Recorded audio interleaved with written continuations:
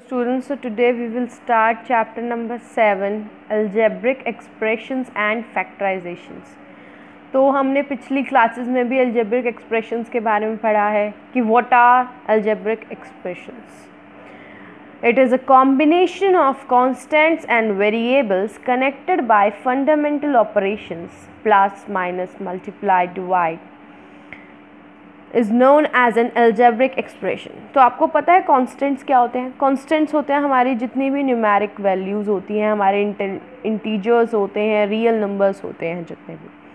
Variables होते हैं जो हम अज्यूम करते हैं न्यूमेरिकल्स वगैरह में। आपने कई बार किए हैं x y z a b कोई भी हम अल्फ़ाबेट्स ले सकते हैं। Variables can be alphabets okay तो अब इसमें कहा गया है कि जितने भी हमारे कॉन्स्टेंट्स हैं और जितने भी हमारे वेरिएबल्स हैं, अगर हम उनको कंबाइन करते हैं किससे? विद द फंडामेंटल ऑपरेशंस तो फिर वो हमारी अल्जेब्रिक एक्सप्रेशन कहलाती है। जैसे कि हमारे यहाँ पे एग्जांपल है फाइव ए तो फाइव ए को आप कैसे लिख सकते हो? फाइव इंटू ए मतलब यहाँ पर फाइव ए कॉन्स्टेंट है और ए हमारा एक वेरिएबल है, एक अल्फ़ाबेट है। तो उन दोनों को हमने किससे कंबाइन किया है? एक नॉर्मल मल्टीप्लिकेशन ऑपरेटर से। तो इसको हम कहेंगे एक algebraic expression three y minus eight इसमें भी क्या है? Three into y into y तो ये भी एक कांस्टेंट वेरिएबल का कॉम्बिनेशन है। माइनस यहाँ पर एक ऑपरेटर आ गया। एंड देन एट कांस्टेंट तो जितने भी हमारे वेरिएबल्स कांस्टेंट्स उन दोनों के बीच में जितना भी हम यूज़ करते हैं ऑपरेटर्स को उनको सेपरेट करने के लिए that is known as algebraic expressions अब क्या हम जानते हैं कि व्हाट आर टर्म्स टर्म्स क्या होती हैं? ये एल्जेब्रिक एक्सप्रेशन का एक पार्ट होती हैं। कैसे पार्ट्स होती हैं? जिन्हें हम सेपरेट करते हैं सिर्फ़ प्लस और माइनस साइन से।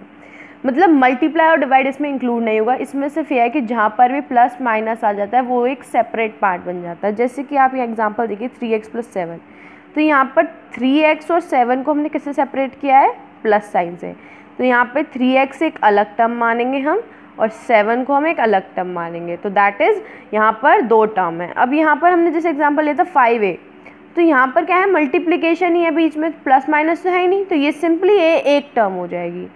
यहाँ पर एक term three x plus seven में टू टर्म्स आ गई क्योंकि यहाँ पर प्लस एक बार यूज़ हो रहा है।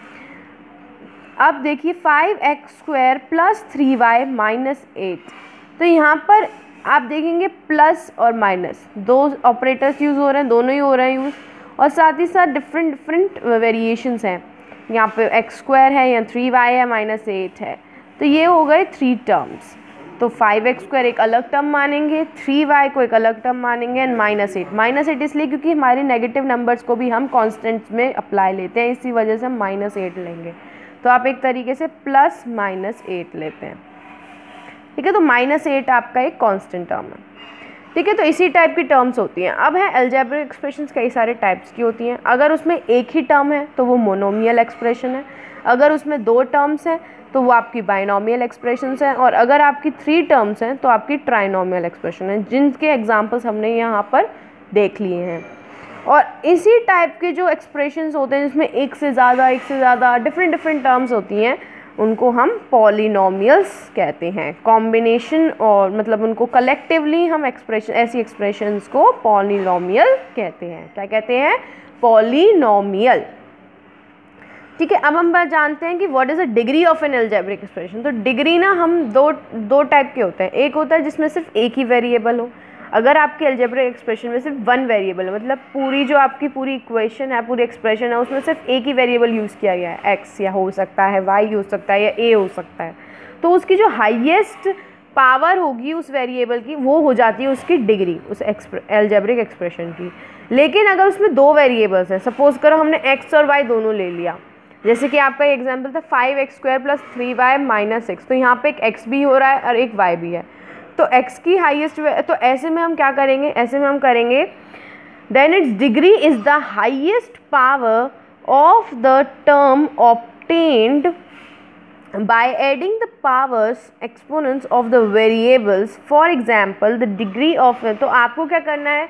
उस वेरिएबल की हाईएस्ट डिग्री निकालनी है, दोनों वेरिएबल्स की, और फिर उन दोनों को ऐड कर देना है। क्या करना है आपको? ऐड जैसे कि आपका फाइव एक्स स्क्वायर है तो इसमें एक्स वेरिएबल यूज़ हो रहा है और एक्स वेरिएबल की हाईएस्ट डिग्री यहाँ पर टू है। देख सकते हो आप टू है टू से ज़्यादा एक्स क्यूब तो यहाँ पर कहीं नहीं हुआ है पावर एक्सपोनेंट तो यहाँ पर टू है तो उसकी हाईएस्ट पावर आ गई टू और y का देखते हैं, y की y यहाँ पर तो है ही नहीं y इस टर्म में, इसमें भी y नहीं है, यहाँ पर है और y की पावर यहाँ पर क्या है वन तो ये है वन तो हम इन दोनों को ऐड करेंगे two plus one that is three तो यहाँ पर जो हमारी एक डिग्री है इस एल्जेब्रिक एक्सप्रेशन की वो कितनी हो जाएगी? थ्री ठीक है तो आपको समझ में आया कि अगर एक ही वेरिएबल है तो आप उसी का हाईएस्ट पावर लेंगे जैसे थ्री एक्स प्लस सेवन है। इसमें एक ही वेरिएबल है एक्स तो इस ऐसी इक्वेशंस में, ऐसी एक्सप्रेशंस में आपको क्या करना है? सिर्फ़ उसकी हाईएस्ट पावर लेनी है। यहाँ पे देखो, यहाँ पे तो एक्स की पावर ज़ीरो है दैट इज़ वन है, यहाँ पे तो सिंपल यहाँ पे तो है ही नहीं, और यहाँ पर आपके एक्स की पावर वन दे रखी है। आप मान सकते हो वन ही होगी, क्योंकि उसी से फ़र्क नहीं पड़ेगा। क्योंकि आपने पढ़ा है कि एनीथिंग पावर ज़ीरो वो तो वन होता है। तो यहाँ पर एक कांस्टेंट की इसी वजह से यहाँ पर कांस्टेंट की डिग्री जो है हमेशा ज़ीरो रहती है। लेकिन जो आपके नॉर्मल एक्स है, उसकी पावर क्या होगी? वन तो इसीलिए यहाँ पर हमारी जो एक्स यहाँ की डिग्री जो है वो है वन ठीक है? अब हम आगे बढ़ते हैं like and unlike terms terms having same literal factors are called like term जिनके लिटिल फैक्टर सेम होते हैं मतलब जिनकी डिग्री सेम होती है, जैसे सिक्स एक्स स्क्वायर और सेवन एक्स स्क्वायर यहाँ पर एक्स की डिग्रीज एक्स की पावर्स दोनों की डिग्री सेम है।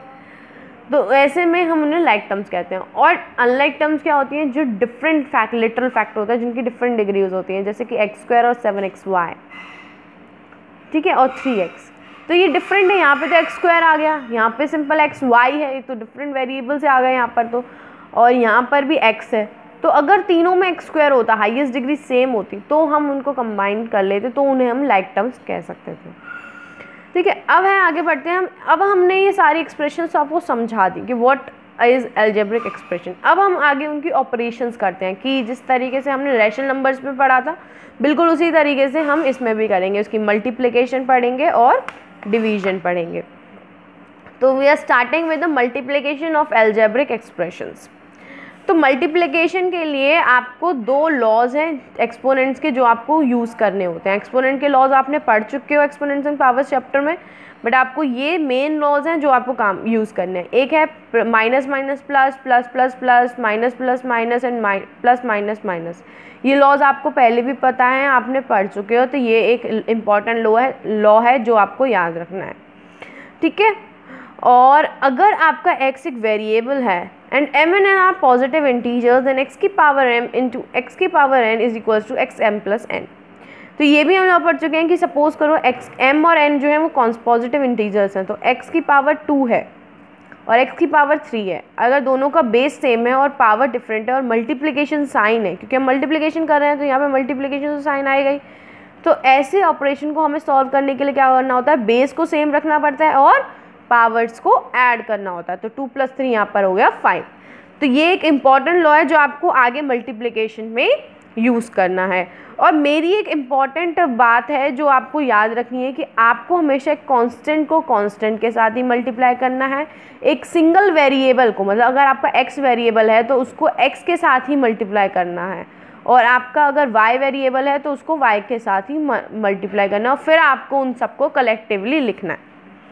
जैसे कि हम एग्ज़ाम्पल देख लेते हैं कि यहाँ पर हम बात करें पहले मल्टीप्लीकेशन ऑफ़ टू मोनोमियल्स अगर आपके दो मोनोमियल्स हैं तो उनको मल्टीप्लिकेशन कैसे होगी? तो आपने देख सकते हैं यहाँ पर प्लस माइनस तो है नहीं। माइनस है, लेकिन वो कैसे है? वो एक नेगेटिव फॉर्म में आ जाएगा। इट्स सेपरेशन ज़्यादातर पॉजिटिव से ही होती है। तो minus eight x square x y square और इन सबको आप मल्टीप्लाई करोगे तो जैसे कि मैंने आपको पहला बताया कि आपको कांस्टेंट को कांस्टेंट के साथ मल्टीप्लाई करना इसमें ना ब्रैकेट्स को प्रेफर कीजिए, क्योंकि ब्रैकेट से ना आपको कैलकुलेशन करने में मुश्किल नहीं होगी तो आपको पता होगा कि कहाँ पे वो सेपरेट हो रहे हैं। तो आपको ब्रैकेट्स यहाँ पे ज़्यादा यूज़ करने चाहिए तो एट कांस्टेंट को आप एक साथ ले लीजिए एक्स वेरिएबल को एक साथ ले लीजिए और वाई वेरिएबल को एक साथ लेंगे। और फिर बीच में मल्टीप्लिकेशन ही आएगा। माइनस साइन इसलिए आएगा क्योंकि यहाँ पर हम माइनस साइन भी इंक्लूडेड है। लेकिन अगर प्लस साइन होता तो हमें ज़रूरत ही नहीं होती। है वो हम आगे पढ़ेंगे, प्लस वाले वो बाइनोमियल हो जाते हैं, वो ट्राइनोमियल हो जाते हैं, वो पॉलिनोमियल्स हो जाते हैं, लेकिन यहाँ पर ऐसे सिंपल इक्वेशन मोनोमियल्स में ज़्यादातर नेगेटिव फॉर्म से होती हैं, जिनको हम कांस्टेंट के साथ ही इंक्लूड कर लेते हैं। तो आपको पता है माइनस माइनस प्लस होता है तो यहाँ पे प्लस फॉर्म आ जाएगी। फिर आपको कॉन्स्टेंट्स को मल्टीप्लाई करना है। ये सेकेंड लॉ के अंदर है एक्सपोनेंट्स के, जो आपको मैंने बता चुकी हूँ। तो इसी तरीके से आपको अपनी इस इक्वेशन को सॉल्व करना है और फिर उसके साथ एक साथ आपको कंबाइंड फॉर्म में लिख देना है मल्टीप्लाई करके। ठीक है? आपको पता ही है, एक कांस्टेंट और वेरिएबल जो है वो वैसे मल्टीप्लाई नहीं हो सकते like like wise numerical wise तो आपको simply six x cube y cube जो आप पिछली क्लास में पढ़ चुके हो, बिल्कुल वैसे ही होगा। जैसे कि ये तीन मोनोमियल्स टर्म्स हैं तो आपको इनको एक साथ करना है तो कांस्टेंट को एक साथ ले जाइए two into three into minus five x terms को एक साथ ले लीजिए x cube x square y x and y terms को एक साथ ले लीजिए वाई एंड वाई स्क्वायर और फिर उन सबको मल्टीप्लाई कीजिए लॉज लगाइए and then after you will get your answer अब हम आगे बढ़ते हैं कि बाइनोमियल को अगर हमें मोनोमियल के साथ मल्टीप्लाई करना है तो हमने ना डिस्ट्रीब्यूटिव प्रॉपर्टी पढ़ी थी रेशनल नंबर की बिल्कुल वही प्रॉपर्टी है कि अगर एक मोनोमियल मतलब हम मोनोमियल को ए मान लेते हैं, एक टर्म और बाइनोमियल का मतलब हम टू टर्म्स हैं तो बी एंड सी मान लेते हैं. तो अगर a into b plus c करना है हमें तो क्या करेंगे हम? A into b plus a into c बिल्कुल वही distributive property of rationalization numbers की जो होती है। B plus c into a हो सपोज़ करो तो क्या होगा? B into a plus c into a तो इसी प्रॉपर्टी को यूज़ करना है आपको इस बाइनोमियल और मोनोमियल के मल्टीप्लिकेशन में। जैसे कि आप एग्ज़ाम्पल देख सकते हो three x square y square को आपको मल्टीप्लाई करना है x cube plus two y square तो आप इसे ए मानेंगे। इसे क्या मानेंगे? बी प्लस सी तो आप a into b plus c करोगे तो क्या होगा?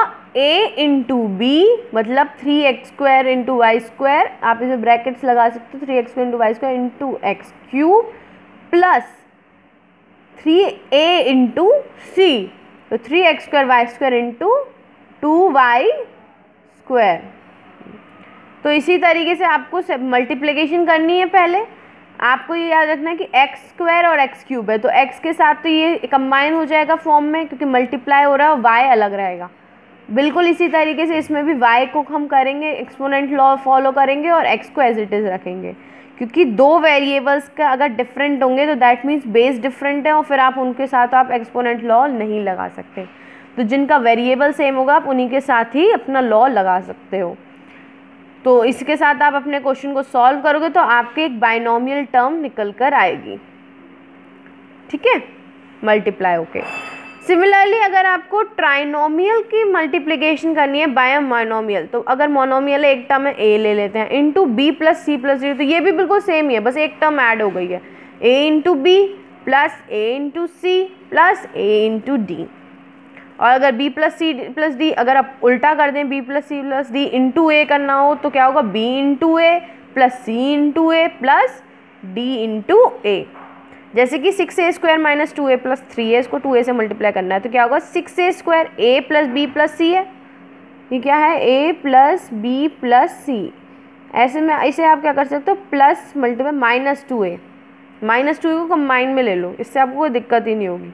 लेकिन अगर माइनस आप नहीं लेना चाहते तो आप नॉर्मली भी ऐसे लिख सकते हो कि आप सिंपल कांस्टेंट वैल्यू को एक्सप्रेशन को मल्टीप्लाई करो और साइन को बाद में माइनस भी लिख सकते हो। ठीक है, उससे कोई फ़र्क नहीं पड़ेगा। और ये है हमारा डी तो आप कैसे मल्टीप्लाई करोगे? A into d six a square into two a plus plus आया यहाँ पे। B into d b into d minus two a minus two a into two a यही हमने किया minus two a into two a bracket लगा लीजिए, ताकि आपका क्वेश्चन आपको अलग से ही शो हो और आपकी कैलकुलेशन मिस्टेक ना हो। और फिर आपकी सी टर्म क्या है? Plus three into two a तो आपकी plus three into two a ठीक है तो इसी तरीके से आपको ये पूरी इक्वेशन को लॉज लगा के सॉल्व करना है ना आपकी आंसर आ जाएगा। अगर आपके दो पॉलिनोमियल्स हैं मतलब डिफरेंट डिफरेंट टर्म्स हैं, कुछ नहीं पता तो अगर दो पॉलिनोमियल्स हैं तो आप उनको कैसे मल्टीप्लाई करोगे? जैसे ए प्लस टू बी है और two a minus three b तो इसमें आप ऐसे करते हो simply a into b sorry a plus b multiply c plus d तो इस तरीके से आप करोगे, पहले ए को इस पूरे पोर्शन से मल्टीप्लाई करोगे तो क्या होगा? A into c plus a into d पहले हम ए को सी के साथ मल्टीप्लाई किया, फिर ए को डी के साथ मल्टीप्लाई किया। फिर आया बीच में ये वाला साइन जो है यहाँ पे। क्या है? प्लस फिर b into c b into c करेंगे। एंड आफ्टर दैट फिर ये वाला plus sign b into d ठीक है? तो पहले आपको इस टर्म को ए टर्म को इस पूरे के साथ मल्टीप्लाई करना है देन आफ्टर साइन एंड फिर टू बी को नेक्स्ट टर्म को आपको उस पूरे इक्वेशन के एक्सप्रेशन के साथ मल्टीप्लाई करना है। जैसे कि आप ये देखिए कि आपका एक क्वेश्चन था ए प्लस टू बी और two a minus three b तो यहाँ पर ए है तो ए को आप पहले मल्टीप्लाई करोगे two a minus three b से फुल और फिर टू बी को करोगे, फिर ये साइन आएगा प्लस और फिर टू बी को उस पूरी एक्सप्रेशन के साथ मल्टीप्लाई करोगे। फिर आपको वही फॉर्म हो गया सिंपल फॉर्म ये आपके जो बाइनोमियल में था binomial and binomial and monomial के इक्वेशन तो बिल्कुल वही हो गया a into b plus c तो पहले आप ए इंटू टू ए करोगे, फिर माइन प्लस को लेगो, लोग लिखोगे और माइनस थ्री बी को कंबाइन करके a into minus three b similarly two b into two a and plus two b into minus three b minus को आप एक साथ लिखोगे तो आपके लिए ईजी हो जाएगा. फिर आप चाहो तो अलग भी लिख सकते हो. वो इसलिए अलग नहीं लिख रहे हैं ताकि कन्फ्यूज़न ना हो. ठीक है, फिर आप उनको सॉल्व करोगे। ब्रैकेट्स के साथ करोगे तो आपके लिए इजी रहेगा। मैं बार बार कह रही हूँ इस बात को क्योंकि ये बात बहुत इंपॉर्टेंट है। ठीक है तो फिर आप इसे सॉल्व करोगे और साइंस के साथ अपनी इक्वेशन का आंसर निकालोगे। तो इसी तरीके से आपको ये मल्टीप्लाई करना है। अब है column method for multiplying two polynomials अब ये एक सिंपल मेथड है, ये तो हमने मल्टीप्लाई किया, लेकिन हम कॉलम मेथड है जिससे हम नॉर्मली मल्टीप्लाई कर सकते हैं, जिससे हमारा इजी हो जाता है। जैसे कि आपको मल्टीप्लाई करना है, p प्लस थ्री क्यू को two p minus three q के साथ। तो पहले आप दोनों टर्म्स को एक डिवीज़न की फॉर्म में जैसे लिखते हैं नॉर्मली वैसे लिखोगे। Then after you will add both तो इसमें भी आपको पहले मल्टीप्लाई करना है, जैसे कि आप करोगे।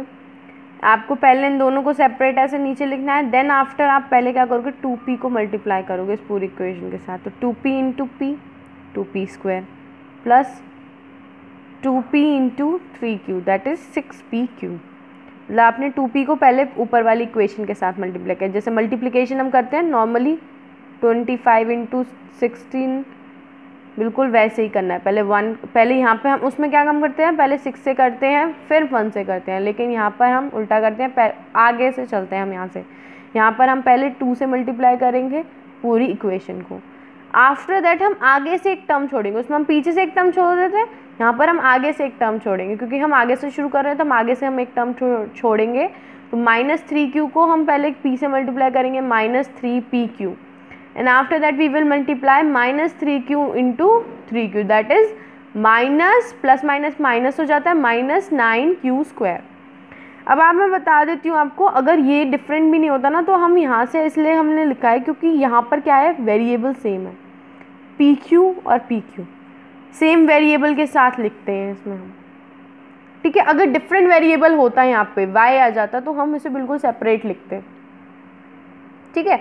तो हमें वही लिखना है जो उसके साथ कंबाइन होगा, जिसके वेरिएबल सेम होंगे। कांस्टेंट से फ़र्क नहीं पड़ता वेरिएबल से फ़र्क पड़ता। है अगर एक्स स्क्वायर वाई होता यहाँ पर और यहाँ पर अगर, यहाँ पर अगर एक्स स्क्वायर वाई होता और यहाँ पर वाई स्क्वायर एक्स होता तो हम उन्हें एक साथ नहीं लिख सकते थे।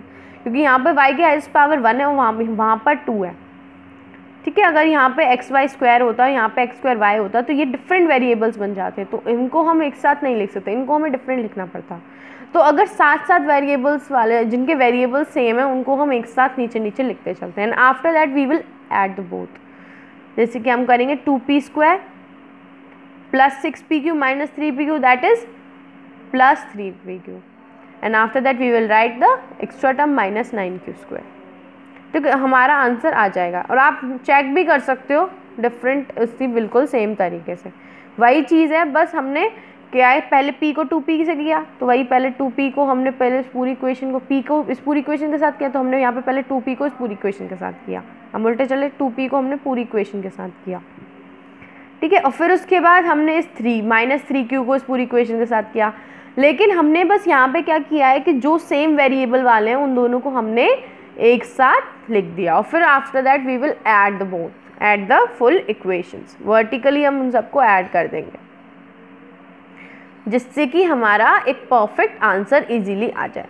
जैसे कि आप ये देखिए three x square minus four x y plus two y square multiply कर रहे हैं टू एक्स माइनस एक्स तो आपने नॉर्मली लिखा, फिर टू एक्स को आप मल्टीप्लाई कर रहे हो इस पूरी इक्वेशन के साथ। आपने किया।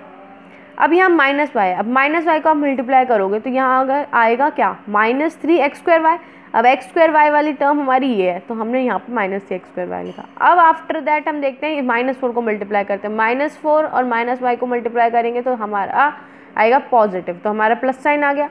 प्लस फोर एक्स यहाँ पे वाई को ऐड हो गया तो यहाँ पे वन प्लस वन टू हो जाएगा। तो फोर एक्स वाई स्क्वायर तो फोर एक्स वाई स्क्वायर तो यहाँ पर भी हमने इसको फोर एक्स वाई स्क्वायर के नीचे इसलिए लिखा है, क्योंकि यहाँ पर भी एक्स वाई स्क्वायर है। तो यहाँ पे सेम सेम वेरिएबल के एक साथ लिखें।